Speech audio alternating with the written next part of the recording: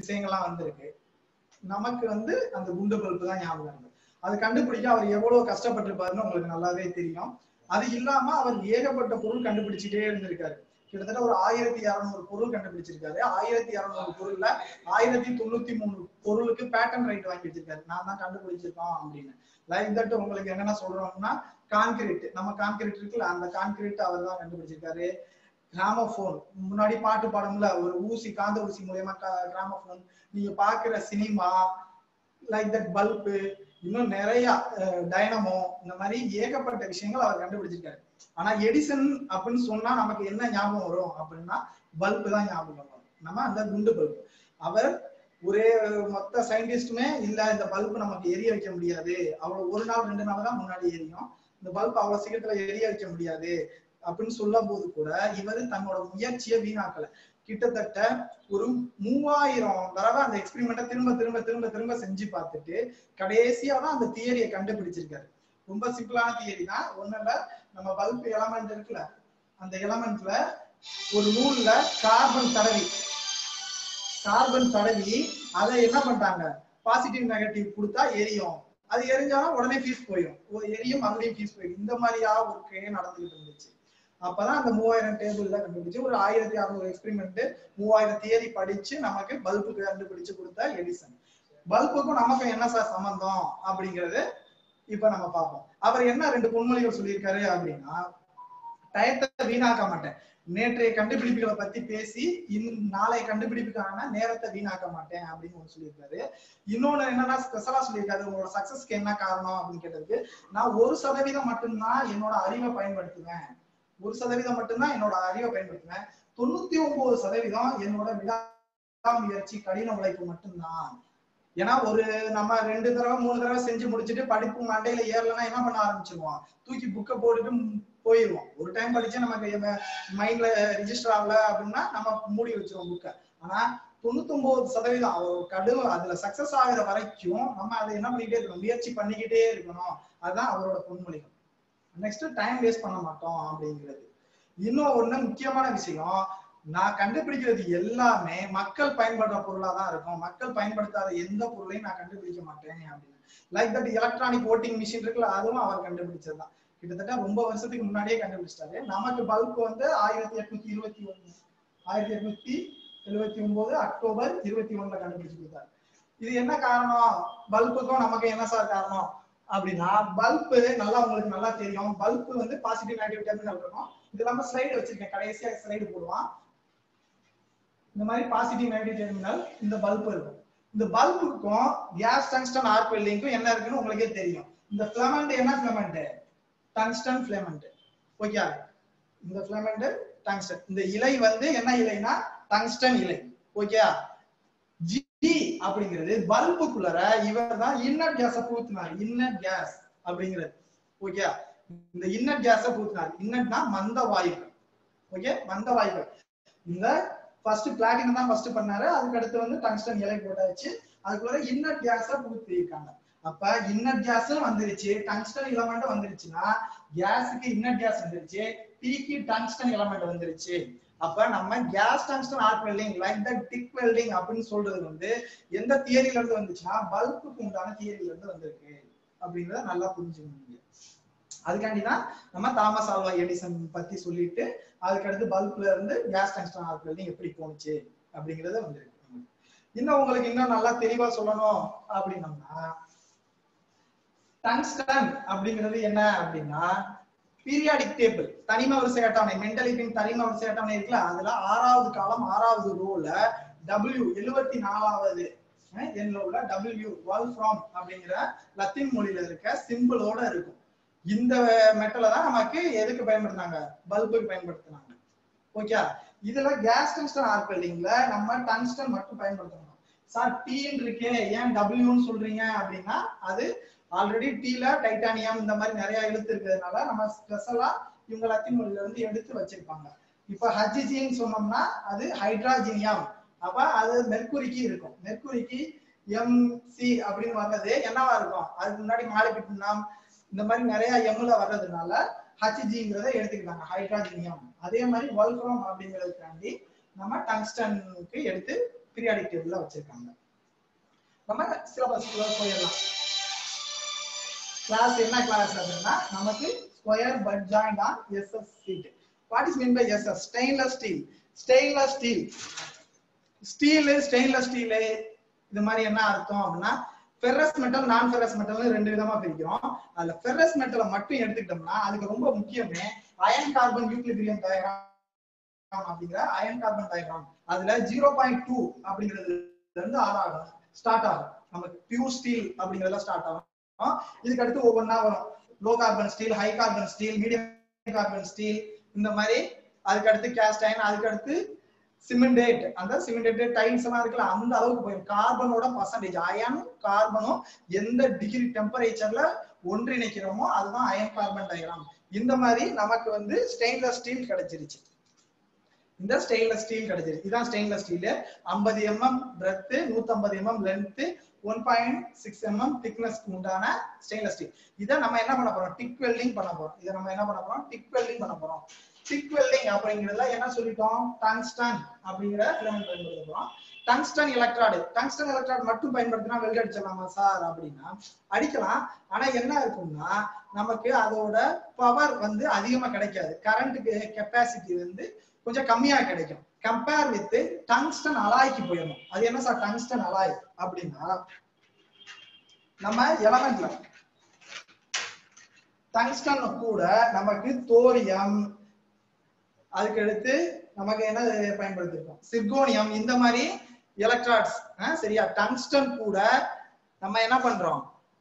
Tungsten கூட ஒரு சதவீதம் ஒரு சதவீதம் தோரியம் ரெண்டு சதவீதம் தோரியம் ஜீரோ புள்ளி அஞ்சு சதவீதம் சிங்க்ரோனியம் இந்த மாதிரி இதை பயன்படுத்தணும் அப்படின்னம்னா இது என்னவாயிரும்? டங்ஸ்டன் அலாய் ஆயிரும் சோ இது எதுக்கு சார் கலக்குறீங்க அப்படின்னா கரண்ட் கெப்பாசிட்டி கரண்ட்டை அதிகப்படியா உற்பத்தி பண்ணி கொடுக்கும். சரியா? நமக்கு கரண்ட் உற்பத்தி தான் ரொம்ப முக்கியம். அதனால இது டங்ஸ்டன் இது என்னென்ன சார் இருக்கு? என்னென்ன மெத்தட் இருக்கு? இந்த டங்ஸ்டன் அலாய்ஸ் என்ன இருக்கு அப்படின்னா ஃபர்ஸ்ட் பியூர் டங்ஸ்டன் அப்படின்னு இருக்கும். பியூர் டங்ஸ்டன் டங்ஸ்டன் அலாய் இதெல்லாம் எப்படி சார் நீங்க டிஃபரன் பண்ணி காமிப்பீங்க? அப்படிங்கறத நல்லா பாருங்க. இது வந்து பியூர் டங்ஸ்டன் பியூர் டங்ஸ்டன் அப்படிங்கிறதுல வந்து என்ன இருக்கும்னா பச்சை கலர்ல இருக்கும். என்ன கலர்ல இருக்கும்? பச்சை கலர்ல இதோட கார்னர் இதோட எண்டு பகுதி இருக்கு பாருங்க. இந்த பகுதி கிரீன் கலர்ல இருந்துச்சு அப்படின்னா அது என்னது அது? பியூர் டங்ஸ்டன் டங்ஸ்டன்ல மட்டும்தான் வேற நூறு சதவீதமும் டங்ஸ்டனே பயன்படுத்தி இருக்கு அப்படிங்கிறதுக்கு உண்டானதான் இந்த பச்சை கலர் கோட்டிங் ஓகே அதுக்கடுத்து நமக்கு வந்து என்ன இருக்கு? ரெட் கலர் இந்த ரெட் கலர் எலக்ட்ராடு இந்த ரெட் கலர் எலக்ட்ராடு எதுக்கு? ரெண்டு சதவீதம் தோரியம் தோரியம் ரெண்டு சதவீதம் கலந்துருக்கும். தோரியம் ஒரு சதவீதம் கலந்துருந்தா என்ன? அப்படியே வரிசையை பார்ப்போம். பச்சை கலர் அப்படிங்கிறது இடபிள்யூபி இடபிள்யூபி நல்லா ஞாபகம் வச்சுக்கோங்க. ரொம்ப முக்கியம். தியரி கிளாஸ் மாதிரி போறதுக்காண்டி இல்ல. இதுல இருந்து ஒரு நாலு கொஸ்டின் வச்சிருக்கேன். அதுக்காண்டி தான் உங்களுக்கு சொல்றதுக்காண்டி தான் இது போடுறேன் இடபிள்யூபி எலக்ட்ராட் வெல்டிங் பியூர் இது பிக்கு வந்து பியூரா நூறு சதவீதம் சொல்றது பியூரா சுத்தமான சொல்றோம்ல அந்த மாதிரி பி தான். இதுக்கு பச்சை கலரு நீங்க ஷார்ட்கட் என்ன வச்சுக்கணும்னா பச்சை எப்படி எழுதுங்க பிஏன்னு எழுதுவீங்களா பச்சை. இந்த மாதிரி பிஏ அதை ஞாபகம் வச்சுக்கோங்க. இந்த பீன்னு வந்துச்சுன்னா அது பச்சைன்னு ஞாபகம் வச்சுக்கோங்க. இது உங்களுக்கு ஒண்ணுமே கொடுக்க மாட்டாங்க. கொஸ்டின்ல இடபிள்யூபி அப்படிங்கிறது என்ன கலர் எலக்ட்ராட் அப்படின்னு கேட்டுருவாங்க. நீங்க பிக்கு பச்சை கலர் அப்படின்னு ஞாபகம் வச்சுக்கோங்க. அதுக்கடுத்து இடபிள்யூ பிஹெச் தோரியம் ஒண்ணு சரியா? ஒண்ணுங்கிறது என்ன கலர் அப்படிங்கறத நல்லா ஞாபகம் வச்சுக்கோங்க. எல்லோ கலர் எல்லோ ஃபர்ஸ்ட் என்ன லெட்டர் வரும்? ஒய் மஞ்சள் கலர் நல்லா ஞாபகம் வச்சுக்கோங்க. ஒய் எல்லோ இந்த எல்லோக்கு ஒய் போடுறதுக்கும் ஒண்ணு போடுறதுக்கும் வித்தியாசம் இருக்கும். எல்லோல நம்ம கடைசியா இருக்கிற கோடு வந்து ஒன்னா நம்பர் கோடு இழுப்போம்ல. அப்ப தோரியம் டிஹெச் ஒன்னு அப்ப கடைசியா ஒண்ணு போடுறோம் எல்லோ கலர் அதை ஞாபகம் வச்சுக்கோங்க. ஓகே ரெண்டாவது இடபிள்யூ டிஹெச் டூ ரெண்டு போடுறோமே இது என்ன கலர் சார் அப்படின்னா ரெண்டுக்கு வந்து ஆர் ரெட் கலர் இது எப்படி சார் ரெண்டு ஞாபகம் வச்சுக்கிறது? ஆரோட கடைசி எண்டிங் பாயிண்ட் என்னவா இருக்கும்? ரெண்டா தான் இருக்கும். ஓகே இது மட்டும் ஞாபகம் வச்சுக்கோங்க. ரெட்டுக்கு கடைசியா. பன்னெண்டா ஒன்னா சேர்த்தா ரெட்டு வந்துருமியா? ஆறு வந்துரும். ஓகே அந்த ஆறு தான் ரெட் கலர் சிவப்பு கலர் இதை ஞாபகம் வச்சுங்க. மிச்சம் எல்லாமே ஆப்ஷன்ல வந்துச்சுன்னா மாத்தி மாத்தி சொல்லிடலாம். ஒண்ணும் பிரச்சனை கிடையாது. பீனா என்ன வந்திருக்கும்? பியூர் பியூர் வந்திருக்கு. அப்ப பச்சை கலர் பச்சை டீக்கு பச்சைக்கு பா பாவுக்கு பாவே வந்துருச்சு. இங்கிலீஷ்ல பிரச்சனை கிடையாது. ஒண்ணு வந்துச்சுன்னா எல்லோ கலர்னு போடணும். ஒண்ணு கடைசியா இருக்கும். ஒய் எல்லோ போடணும். அதுக்கடுத்து தோரியம் தோரியத்துல ரெண்டு வந்துருச்சுன்னா ரெண்டுக்கிறத கடைசியா முடிப்போம். எது கூட ஒண்ணு போட்டு ரெண்டு பிடிக்கிறோம்னா ஆர் ரெட் கலர் அப்படிங்கிறத ஞாபகம் வச்சுக்கோங்க. இது சிம்பிளா உங்களுக்கு எலக்ட்ரானுக்கு உண்டான கலர் கோடிங் வச்சுக்கிறதுக்காண்டி சொல்லி கொடுத்தது என்னென்ன கலர் சார் இருக்கு அப்படின்னு பார்ப்போம். சின்ன தியரி கிளாஸ் தான் ஈஸியா முடியும். இடபிள்யூபிங்கிறது பச்சை கலர் அதுக்கடுத்து செர்கான் அப்படிங்கிறது ஆரஞ்சு கலர்ல இருக்கும். இடபிள்யூஎல்ஏ லாந்தனைங்கிறது கருப்பு கலர்ல இருக்கும். தோரியம் மஞ்சள் கலர் தோரியம் டூங்கிறது சிவப்பு கலர் ஜிங்க்ரோனியம்ங்கிறது கரு சிவப்பு கலர் ஓகே இவ்வளவுதான் இதுல எலக்ட்ரான் பத்தி சொல்றது. இந்த எலக்ட்ரான் நம்ம வந்து என்ன யூஸ் பண்றோம்? E W T H two தான் யூஸ் பண்றோம். ஏன் சார் டூ யூஸ் பண்றோம்? ஒன்னு யூஸ் பண்ணல அப்படின்னா ஒண்ணுங்கிறது கொஞ்சம் கம்மியான அளவு கரண்ட்டை சப்ளை பண்ணும்.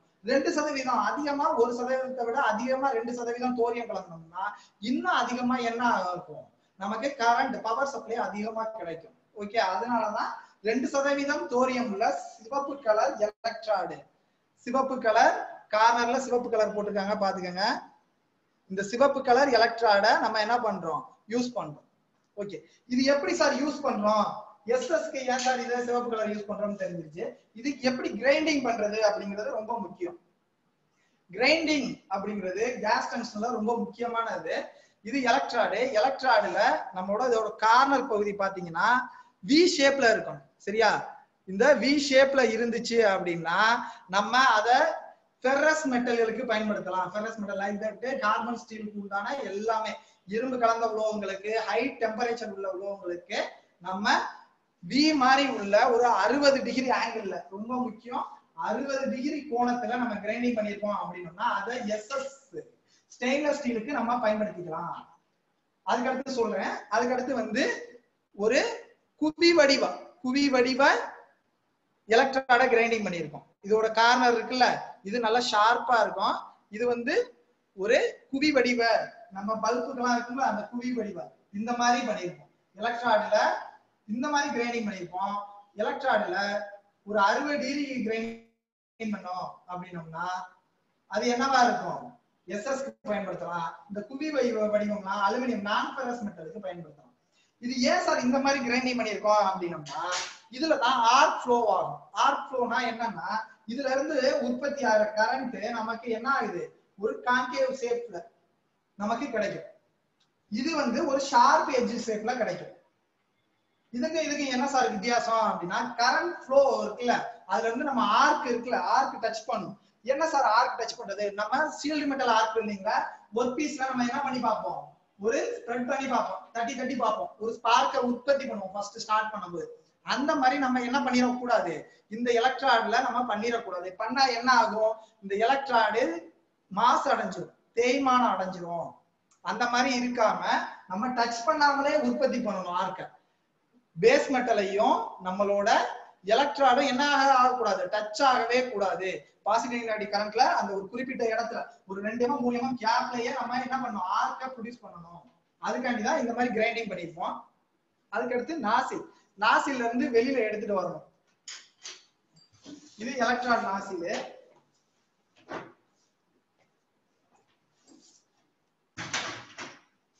இந்த எலக்ட்ரான் நாசில். இந்த நாசில்ல இருந்து நம்ம என்ன பண்ணணும்? எலக்ட்ரானை எந்த அளவு நீட்டி இருக்கணும் வெளியில அப்படிங்கிறது ரொம்ப முக்கியம். எந்த அளவு நீட்டி இருக்கணும் அப்படிங்கிறது ரொம்ப முக்கியம். இது எந்த அளவுனா உங்களோட எலக்ட்ரான் இருக்குல்ல இந்த எலக்ட்ரானோட டயாமீட்டர்ல ஒரு ரெண்டு மடங்கு இல்ல ஒன் பாயிண்ட் ஃபைவ் மடங்கு இந்த எலக்ட்ரானோட டயாமீட்டர்ல வெளியில நீட்டி இருந்தா போதும். ஏன் சார் அதிகமா நீட்டி இருந்தா? அதிகமா நீட்டி இருக்கு அப்படின்னா அது என்ன ஆகும்? ஆர்ட் ப்ளோ வந்து என்ன ஆக ஆரம்பிச்சிடும் அதிகப்படியா வெளியில போக ஆரம்பிச்சிடும் இந்த அளவு தான் வெளியில நீட்டிட்டு இருக்கணும் அப்படிங்கிறது ரொம்ப முக்கியமான ஒண்ணு. நெக்ஸ்ட் நம்ம எலக்ட்ரான் பார்த்தாச்சு. நம்ம ஷீட்டு சீட்டு எப்படி ஃபிக்ஸ் பண்றது அப்படிங்கிறது உங்களுக்கு நல்லாவே தெரியும். பட் ஜாயிண்ட் எல்லாமே ஞாபகம் வச்சுட்டாங்க. மொத்தம் அஞ்சு ஜாயிண்ட் இருக்கும். அதுல பட் ஜாயிண்ட் இந்த மாதிரி நம்ம என்ன பண்ண போறோம்? ஒட்டி வெல்ட் அடிக்க போறோம். என்ன பண்ணக்கூடாது? பிளேட்ல நம்ம என்ன பண்ணக்கூடாது? ஒட்டிடக்கூடாது. பிளேட்ல நம்ம என்ன பண்ணிடக்கூடாது? ஒட்டிடக்கூடாது. இன்னைக்கு சிமுலேட்டர்ல தான் வெல்டிங் பண்ண போறோம் அப்படின்னு சொல்லியிருக்கோம். இதுல வெல்டிங் சிமுலேட்டர்ல தான் நம்ம வெல்டிங் பண்ண போறோம் அப்படிங்கறத சொல்லியிருக்கோம். வெல்டிங் சிமுலேட்டர்ல பண்றதுக்கு முன்னாடி அந்த மிஷின் பார்ப்போம். அந்த மிஷின்ல நார்மல் என்ன கண்ட்ரோலு இது என்ன எப்படி நான் டிக் வெல்டிங்க்கும் சிமுலேட்டருக்கும் என்ன வித்தியாசம் இருக்கு? இதெல்லாம் பார்ப்போம். ஓகே இதுதான் நம்ம வெல்டிங் சிமுலேட்டர் இது வெல்டிங் சிமுலேட்டரு வெல்டிங் சிமுலேட்டரு நம்ம பட் ஜாயிண்ட் அடிக்க போறதுக்கு உண்டான பட் ஜாயிண்ட் ஓகே இதான் பட் ஜாயிண்ட் இதான் அடிக்க போறோம். ஓகே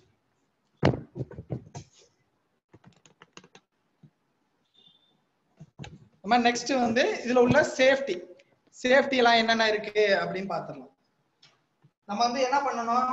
இதுக்கு ஆட்டோ டார்கனிங் ஹெல்மெட் அப்படிங்கிற ஒரு ஹெல்மெட் பயன்படுத்தணும்.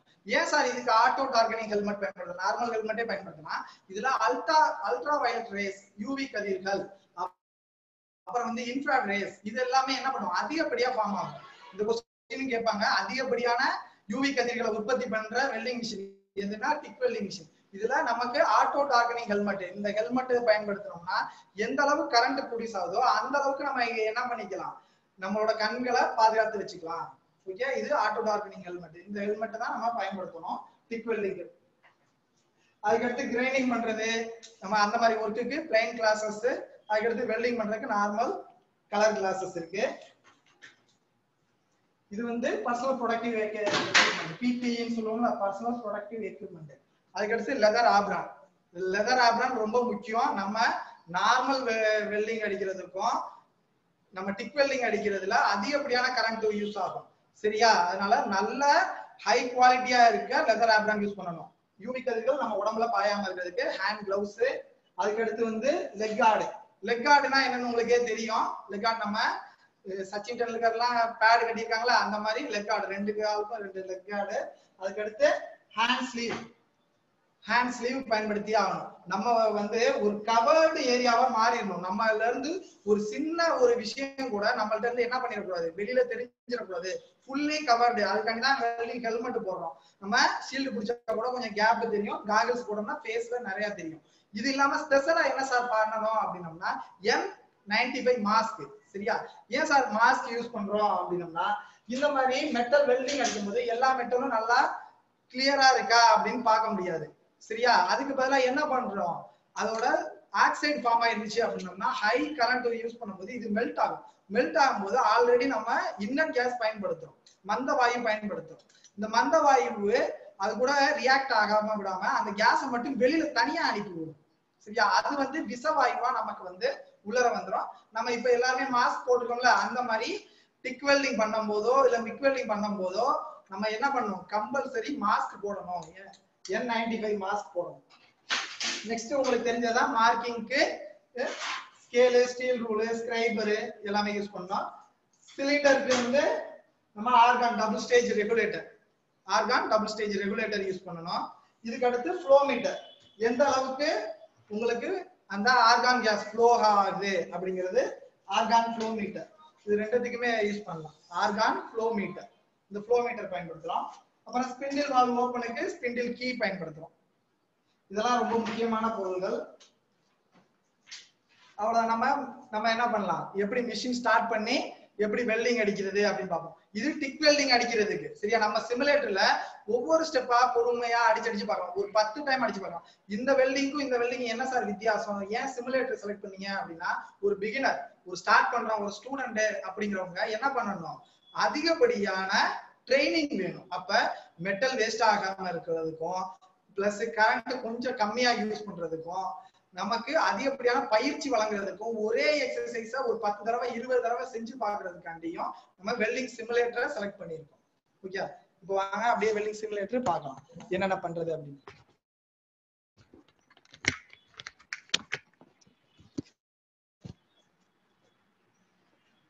இது வெல்டிங் சிமுலேட்டர் கொஞ்சம் மிஷின் லாக் ஆக கொஞ்சம் இருக்கும். பின்னாடி இது ஒரு normal CPU central processing unit இருக்குல்ல?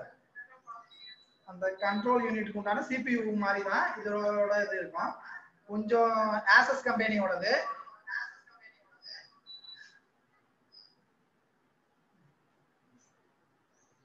என்ன step step by step process பார்க்கலாம்.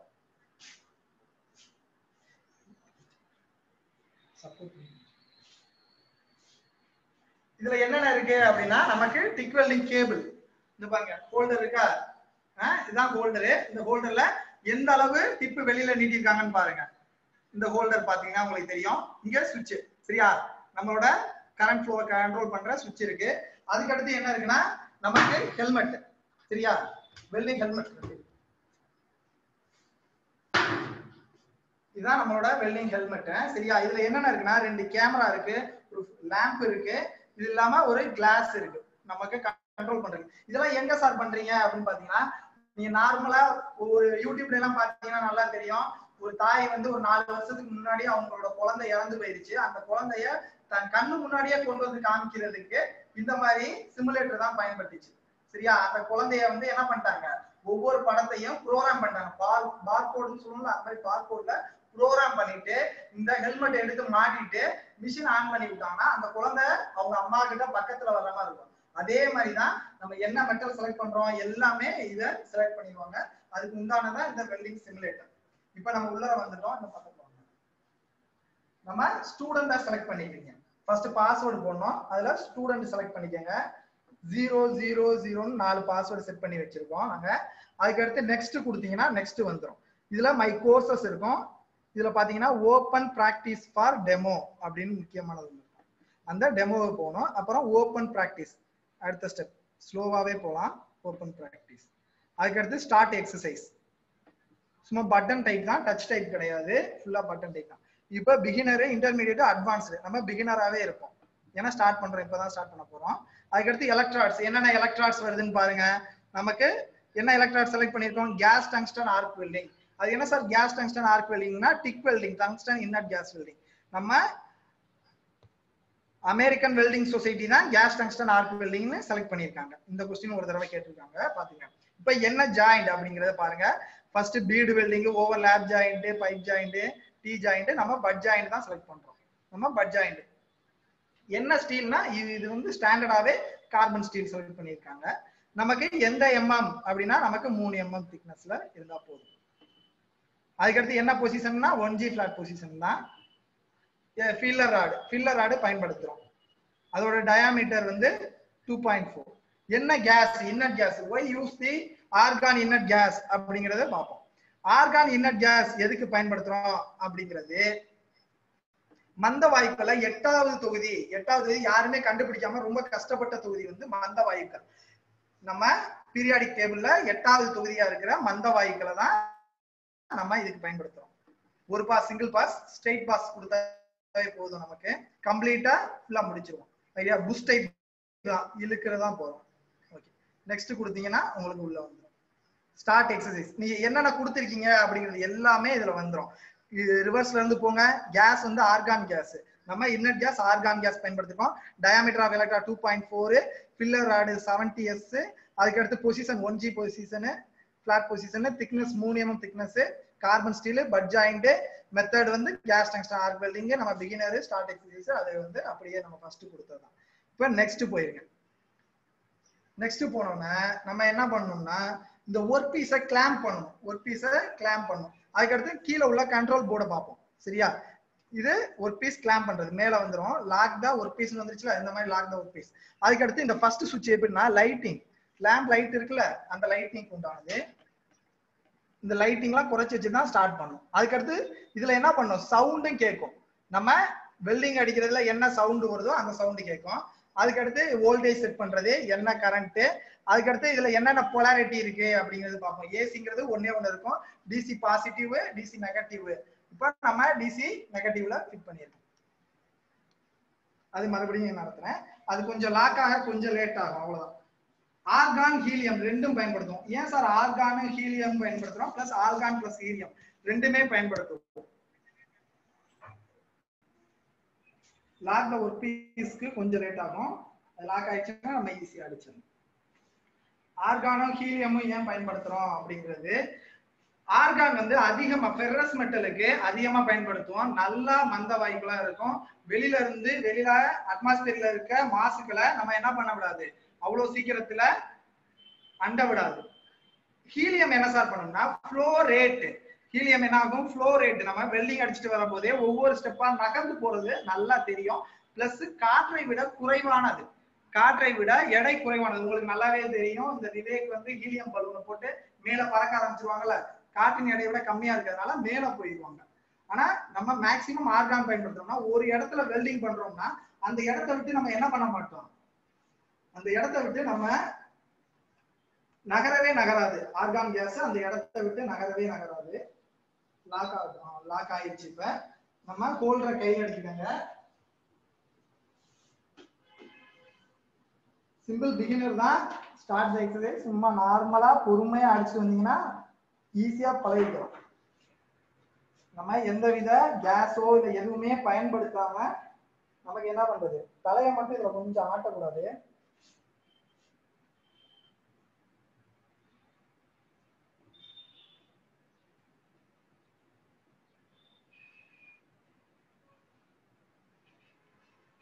எப்படி வெள்ளைங்க அடிக்கிறீங்களோ அதே மெத்தட்ல அடிக்கணும்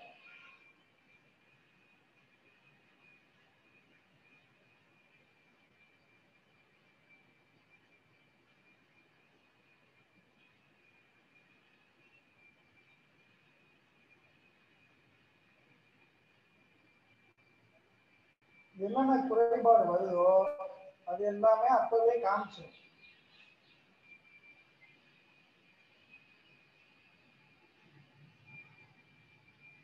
நம்ம ஒரு பீடு தான் அடிக்க போறோம்.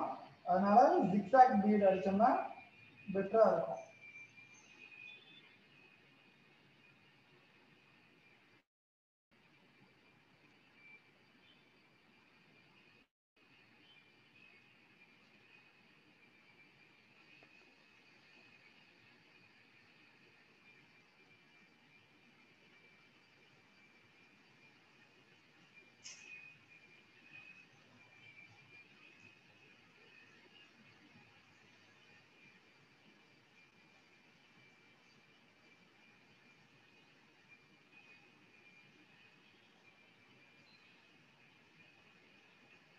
இந்த கேமரா கண்ட்ரோல் தான். அதனால தலையை ஆட்டினீங்க அப்படின்னா வீடு கரெக்டா கிடைக்காது.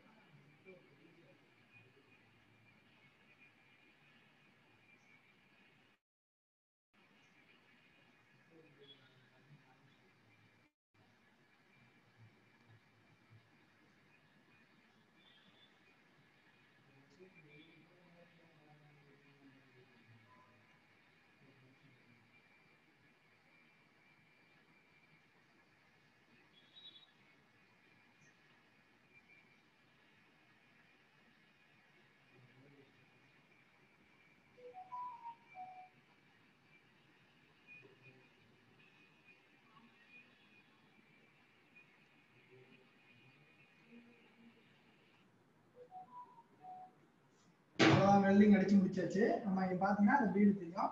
இன்னொரு லேயர் கூட அடிச்சிருக்கோம் பாருங்க நம்ம இப்ப எப்படி வெல்டிங் அடிச்சிருக்கோம்? ரொம்ப முக்கியமே இதுல ஸ்பேட்டர்ஸ் ஒரு துளி கூட வராது. நம்ம ஸ்பேட்டர்ஸ்ங்கிறது நம்ம வரவே வராது. நீங்க பொலாரிட்டியை சேஞ்ச் பண்ணாலோ இல்ல ஏதாவது ஒர்க் பண்ணாதான் நமக்கு என்ன வரும்? ஸ்பேட்டர் வரும். இதுல ஸ்பேட்டர்ங்கிற ஒரு குறைபாடு வராது. ஸ்லாக் ரிமூவ் பண்ண தேவையில்லை. ஏன்னா இதுல நம்ம ஃபிளக்ஸ் கவர்டு எலக்ஸ் எலக்ட்ரான் பயன்படுத்தப்படுறது இல்ல நான் கன்சியூமபிள் எலக்ட்ரான் தான் பயன்படுத்தப்படுறோம். அதனால நம்ம என்ன பண்றது இல்லை ஃபிளக்ஸ் வராது சிப்பிங் ஹேமர் பயன்படுத்த வேண்டாம். நமக்கு ஸ்பேட்டர் ஒரு துளி கூட வராது. ரொம்ப அழகா வெளியே வீடு அடிச்சுட்டு நம்ம போயிட்டு இருக்கலாம். இந்த மாதிரி ஒரு டென் டைம்ஸ்க்கு மேல டென் டைம்ஸ்க்கு மேல நம்ம வெல்டிங் அடிச்சிடலாம். மிஷின் ஆஃப் பண்றதுக்கு முன்னாடி எல்லாத்தையும் கண்ட்ரோல் யூனிட்டி எல்லாத்தையும் ஆஃப் பண்ணிட்டு யூஸ் பண்ணோம். ஏன்னா மறுபடியும் என்ன இருக்கும் அப்படின்னா இது லாக் ஆக ஒர்க் பீஸ் லாக் ஆக தான் கொஞ்சம் டிலே ஆகும். மற்றபடி வேற ஒன்றும் இருக்காது. எல்லாத்தையுமே நம்ம என்ன பண்ணிடணும்? ஜீரோ செட் பண்ணிட்டு அதுக்கப்புறம் அன்லாக் த ஒர்க் பீஸ் பண்ணிட்டு அதுக்கப்புறம் தான் மிஷினை என்ன பண்ணணும்? ஆஃப் பண்ணணும். ஆஃப் பண்ணிட்டீங்கன்னா முடிஞ்சு போச்சு. பின்னாடி சுவிச்சஸ் இருக்கும். A S S board switches off பண்ணணும். ஓகே இவ்வளவுதான் நம்ம கிளாஸ் இதுக்கு அடுத்து நம்ம என்ன பண்ண போறோம் அப்படிங்கிறது பாத்தீங்கன்னா நம்மளோட பவர் பாயிண்ட் பவர் பாயிண்ட் பார்க்கலாம். ஓகே ஸ்கிரீன் ஷேர் பண்றேன்.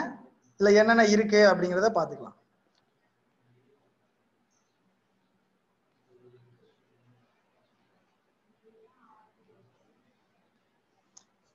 கொஞ்சம் பாய்ஸ் எல்லாம் கொஞ்சம் பிரைட் வச்சுக்கோங்க. ஏன்னா இதுல கொஞ்சம் இது ஸ்லைட் சோர்ஸ்ங்கிறது கொஞ்சம் ரெடி பண்ணியிருக்கிறதுனால பிரைட்னஸ் கொஞ்சம் கூட வச்சுக்கிட்டீங்கன்னா நல்லா தெளிவா தெரியும். ஃபர்ஸ்ட் சொன்ன மாதிரியே பேர் வந்து அன்பரசன் பைட்டனோ அரசினர் தொழிற்பயிற்சி நிலையம். ரெண்டாவது ஸ்லைடு நம்ம தாமஸ் ஆல்வா எடிசன் கண்டுபிடிச்ச பல்ப் இதுதான். இதுல அந்த ஃபிளேமெண்ட் டங்ஸ்டன் ஃபிளேமெண்ட் நல்லா ஜூம் பண்ணி பாத்தீங்கன்னா உங்களுக்கு நல்லா தெரியும். டங்ஸ்டன் ஃபிளேமெண்ட் இருக்கு இன்னட் கேஸ் இருக்கு. இது ரெண்டையும் பயன்படுத்தி தான் நம்ம என்ன பண்ண போறோம்? கேஸ் டங்ஸ்டன் ஆர்க் வெல்டிங் பயன்படுத்தி இருக்கோம் அதுக்கடுத்து இதுதான் பீரியாடிக் டேபிள் பீரியாடிக் டேபிள்ல நமக்கு எழுபத்தி நாலாவது இப்ப ஜூம் பண்ணிருக்கலாம் டங்ஸ்டன் அணியன் நிறையன் இதுல உள்ள டங்ஸ்டன் டபிள்யூன்னு இருக்கு டியூ தான் நமக்கு ஆனா டபிள்யூன்னு கொடுத்துருக்காங்க. இந்த டங்ஸ்டன் ஃபிலமெண்ட் தான் நம்ம பயன்படுத்தியிருக்கோம். நெக்ஸ்ட் வந்து இந்த பீரியாடிக் டேபிள்ல இந்த கடைசியா இருக்க எட்டாவது தொகுதின்னு சொல்றோம்ல இந்த மந்த வாயுக்கள் தொகுதி தான் நம்ம இப்ப பயன்படுத்தியிருக்கோம். Helium neon argon krypton xenon இந்த மாதிரியான மந்த வாயுக்கள் மந்த வாயுக்கள்னா மத்த வாயுக்கள் எது கூடயுமே என்ன ஆகாது இது? ரியாக்ட் ஆகாது.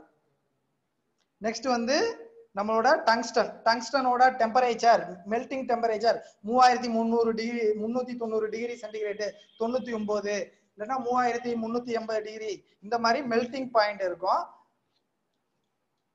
இதெல்லாம் ஏன் சார் உங்களுக்கு இந்த டங்ஸ்டனு இந்த ஸ்கிரீன்ஷாட் வேணா எடுத்துங்க டங்ஸ்டனுக்கு ஏன் டபிள்யூ போட்டிருக்கோம்? டின்னுக்கு ஏன் எஸ்என் போட்டிருக்கோம் அப்படிங்கிறது லத்தீன் மொழியில உள்ள நேமு ஹச்சிஜிக்கு ஹைட்ராஜினியம் சொல்லியிருந்தேன்.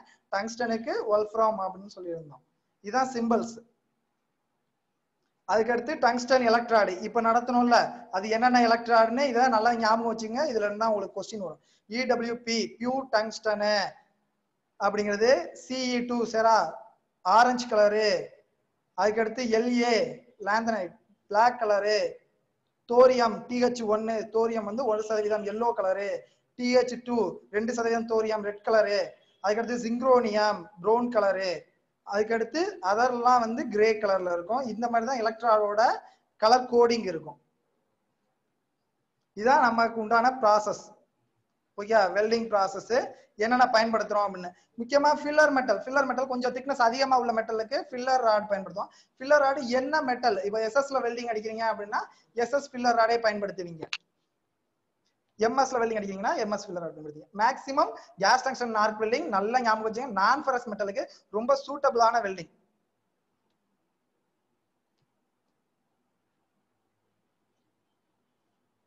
இதுதான் எக்யூப்மெண்ட்ஸ் என்னென்ன எக்யூப்மெண்ட்ஸ் இருக்கு அப்படின்னு பாத்தீங்கன்னா ஒரு கான்ஸ்டன்ட் கரண்ட் இதுல எப்படி சார் கான்ஸ்டன்ட் கரண்ட் வருது அப்படிங்கிறது ரொம்ப முக்கியம்.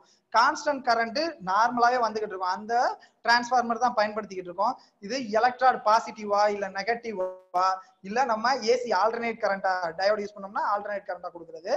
இது ஏன் சார் அப்படிங்கிறது? ரிவர்ஸ் போலாரிட்டி ஸ்ட்ரெயிட் போலாரிட்டி பயன்படுத்துறதுக்காண்டி இருக்கும். நம்ம அதுக்கடுத்து என்ன பண்றோம் இன்னட் கேஸ் சிலிண்டரு அதே ஆர்கானு பயன்படுத்தியிருக்கோம். அதுக்கடுத்து வந்து ரெகுலேட்டர் இருக்கு. அதுக்கடுத்து கேஸ் ஃப்ளோ மீட்டர் இருக்கு. அந்த கனெக்ஷன் இருக்கு.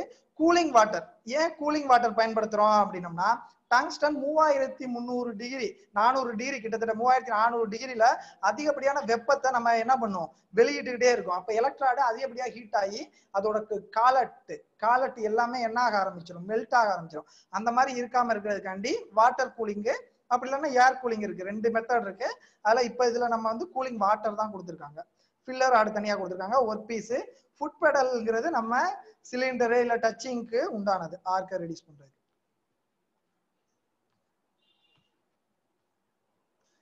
other name of gas tungsten arc welding gas tungsten arc welding யார் சொன்னதுன்னா அமெரிக்கன் வெல்டிங் சொசைட்டி ஏடபிள்யூஎஸ் இது நல்லா ஞாபகம் வச்சுக்கோங்க அதான் ரொம்ப முக்கியம்.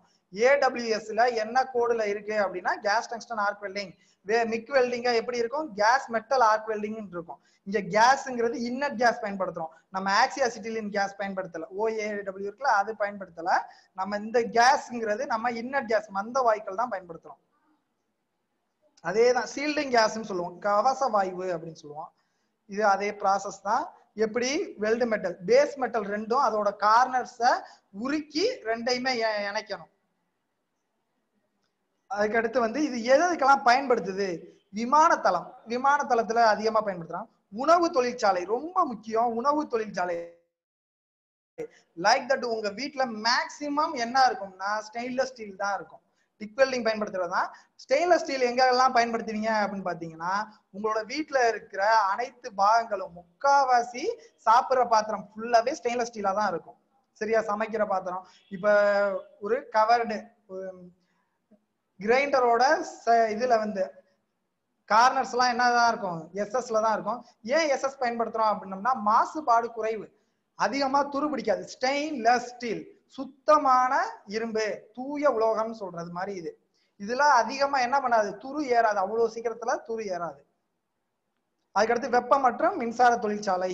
நம்ம எலக்ட்ரிக் டிபார்ட்மெண்ட் பெட்ரோலிய தொழிற்சாலை நியூக்ளியர் பவர் பிளான்ட் இது இல்லாம எங்கெங்கெல்லாம் இருக்கு அப்படின்னு பாத்தீங்கன்னா ஏரோநாட்டிக்கல் நம்மளோட நம்ம விமானத்தளம் சொல்றோம்ல அந்த மாதிரி நம்ம ராக்கெட் ஏவுதளத்துக்குள்ளயும் அதிகமா டிக் வெல்டிங் தான் பயன்படுத்துறோம்.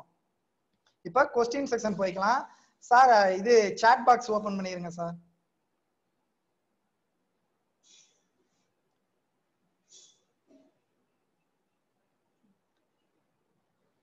sir chat box open பண்ணியாச்சா சார்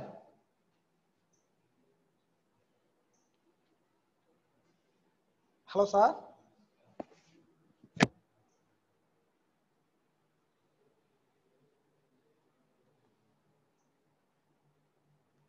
சார் நான் பேசுறது கேக்குதா சார்? ஆ சார் இப்ப கேக்குது. Okay okay sir. Chat box open பண்ணிடுறீங்களா? சாட் பாக்ஸ் ஓபன் பண்ண சொன்னோமா? நான் ரெஸ்ட்ரிக்ட் பண்ணி வச்சிருக்கேன். ஓபன் பண்ணி வச்சிருக்கேன் ஆ ஓபன் பண்ணிருங்க சார். அதுக்காண்டி தான் sir.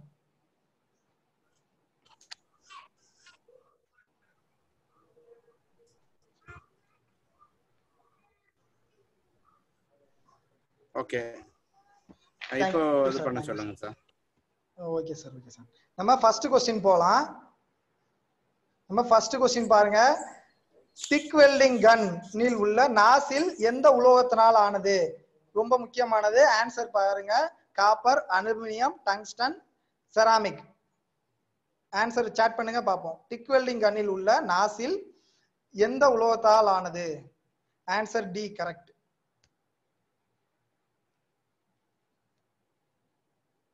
Manoj Hosur welder correct. மத்தவங்கலாம் chat பண்ணுங்க அப்பதான் தெரியும். D answer nice Nagendran Mohammed Kaif. Erode Gopika. ஏன் செராமிக் நாசில் பயன்படுத்துறோம்? அப்படிங்கிறத பார்ப்போம். செராமிக் நாசில்ங்கிறது நல்ல ஒரு வெப்பம் கடத்தும் திறன். நமக்கு வந்து வெப்பத்தை வெளியில போகாது. ஒன்லி உள்வாங்கிக்கிறோம். அதிகமா அப்படியே வச்சுக்கிறோம். லைக் தட் நம்மளோட பானை அடுப்பு இருக்குல்ல பானையில நம்ம எவ்வளவு வேணாலும் வெப்பப்படுத்திக்கிட்டே இருக்கலாம். அது என்ன ஆகாது. ஹீட்டை அவ்வளவா வெளியிடாது. அதே மாதிரிதான் நம்ம செராமிக் யூஸ் பண்ணோம்னா டங்ஸ்டன்ல வர்ற வெப்பத்தை நம்ம என்ன பண்ணிக்கலாம்? அதிகப்படியான உள்வாங்கிக்கலாம் வெளியில அனுப்பிடாது அதனால இது என்ன ஆகாது? மெல்டிங் ஆகாது. ஓகே ஆன்சர் டி நிறைய பேர் ஆன்சர் பண்ணியிருக்கீங்க. வெரி குட் எல்லாருமே கரெக்டான ஆன்சர் பிரவீன் குமார் பாரதி பாலாஜி ஸ்ரீராம் பிரேம்குமார். எல்லாருமே நல்ல ஆன்சர் நம்ம நெக்ஸ்ட் கொஸ்டின் போயிடலாம் ரெண்டாவது கொஸ்டின் டங்ஸ்டன் எலக்ட்ராடில் உள்ள இடபிள்யூபி என்னும் குறியீடு எந்த நிறத்தை குறிக்கும்? உங்களுக்கு கலர் கொடுத்திருக்கேன் பாருங்க. ஆன்சர் பாருங்க. ஆன்சர் கரெக்ட் மனோஜ் கரெக்ட் எல்லாமே கலர் கூட கொடுத்திருக்கேன். சிவப்பு மஞ்சள் பச்சை வெள்ளைன்னு. ரெண்டாவது கொஸ்டினுக்கு ஆன்சர் பண்ணுங்க. Very good Sanjay Karthikeyan Sriram Rajapandi Praveenkumar. Nice nice answer அப்ப மிச்ச கலர்லாம் சிவப்பு கலருக்கு என்ன கோடு அப்படிங்கறத நீங்க பார்க்கணும். நம்ம ஒரு எக்ஸாமுக்கு படிக்க போறோம். அப்ஜெக்டிவ் டைப் கொஸ்டின் அப்படின்னா மிச்சம் இருக்க என்னென்ன கலர் இருக்கு அப்படிங்கறத நீங்க அப்சர்வ் பண்ணணும். அதுக்காண்டி தான் கொஸ்டின் கொடுக்கறது. நீங்க ஆப்ஷன் ஆன்சர் மட்டுமே வச்சுட்டு கொஸ்டினுக்கு பண்ணிட முடிச்சிட முடியாது படிக்க முடியாது. ஆப்ஷன்ல இருந்து நீங்க கொஸ்டினை கிரியேட் பண்ணணும். அதான் ரொம்ப முக்கியம். ஆன்சர் கரெக்ட் ஆன்சர் கரெக்ட் நிறைய பேர் சாட் பண்ணியிருக்கீங்க. ரேணுகா மதுரை எல்லாமே correct nice Vignesh Arumugam Shankar Kumar. Nice questions இது ஆன்சர் ரெண்டு கொஸ்டின் முடிஞ்சு மூணாவது கொஸ்டின் போலாம். மூணாவது கொஸ்டின் டங்ஸ்டன் எலக்ட்ராடில் உள்ள E W T H one tungsten எலக்ட்ராடில் உள்ள இடபிள்யூ டிஹெச் ஒன் எனும் குறியீடு எந்த நிறத்தை குறிக்கிறது? ஆன்சர் பண்ணுங்க. ஆறுமுகம் விக்னேஷ் தவறான விடை. மனோஜ் கரெக்ட் ஹோசூர் ஐடிஐ மனோஜ் கரெக்டா போட்டிருக்காங்க. Rajkumar Baskaran Gopika welder Shankar nice answer Sriram Sanjay மோகன் சிங். இது எல்லாமே சரியான ஆன்சர் தான் பண்ணிட்டு இருக்கீங்க. டங்ஸ்டன் எலக்ட்ரான்ல என்னது? மஞ்சள் கலர் எல்லோ ஒய்க்கு போட்டோம்ல எல்லோ கடைசியா ஒண்ணு வந்துச்சுன்னா மஞ்சள் கலர் வந்துடணும் எல்லோ கலர் அப்படிங்கிறது வந்துடணும் ஓகே நாலாவது கொஸ்டின் போயிடலாம். டங்ஸ்டன் எலக்ட்ராடில் உள்ள இடபிள்யூ டிஹெச் டூ எனும் குறியீடு சிவப்பு நிறத்தை குறிக்கிறது. எனில் அதில் எத்தனை சதவீதம் தோரியம் கலந்திருக்கும் ஆன்சர் பண்ணுங்க பார்ப்போம். டங்ஸ்டன் எலக்ட்ரான்ல இடபிள்யூ டிஹெச் டூங்கிறது சிவப்பு நிறத்தை குறிக்கிறதுன்னு நான் சொல்லிட்டேன். அதுல எத்தனை சதவீதம் thorium Manoj correct correct answer A Sivabalan கரெக்டான ஆன்சர் ராஜ்குமார் தப்பா போடுறீங்க பாருங்க. ஓகே டூனா என்னன்னு வந்துடணும் ரெண்டு சதவீதம் தான். என்னதான் சொல்லி கொடுத்தோம்? ரெண்டு சதவீதம் தோரியம் டூ ஆருக்கு ரெட்டுக்கு வர்ற ஆர் அந்த ரெண்டுன்னு போடுவோம்ல அதை போட்டீங்கன்னா ஆன்சர் வந்துடும் எப்பொழுதுமே நம்ம படிக்கும் போது சின்ன சின்ன ஷார்ட்கட்ஸ் வச்சு படிச்சுட்டோம் அப்படின்னோம்னா நமக்கு எப்பொழுதுமே மறக்காது. ஒய் எல்லோ ஒரு கோடு வரும் தோரியத்துல ஒண்ணு. ரெட் ஆர் டூன் முடியும். அப்ப ரெண்டு சதவீதம். சிவப்பு நிறம் தோரியம் ரெண்டு அப்படிங்கிறது. Nice nice Sathyanarayanan.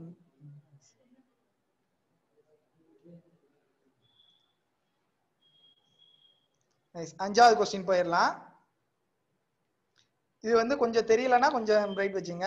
Stainless ஸ்டீலை tick welding செய்யும் பொழுது டங்ஸ்டன் எலக்ட்ராடை கிரைண்டிங் செய்ய தேவையான கோணம் எவ்வளவு அப்படிங்கிறது முப்பது டிகிரியா நாற்பது டிகிரியா ஐம்பது டிகிரியா அறுபது டிகிரியா அப்படிங்கிறது ஆன்சர் பண்ணுங்க. அஞ்சாவது கொஸ்டின்